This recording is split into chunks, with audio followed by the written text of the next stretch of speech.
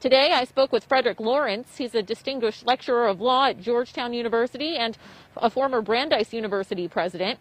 Lawrence says the average debt among those who have student loans is $29,000. So he thinks that $50,000 is just too much.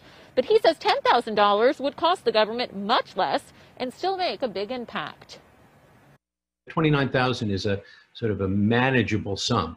So if you can reduce that by 10,000, you would wipe out the debt for about 15, 16 million, and you would make a serious difference for about another 19 million.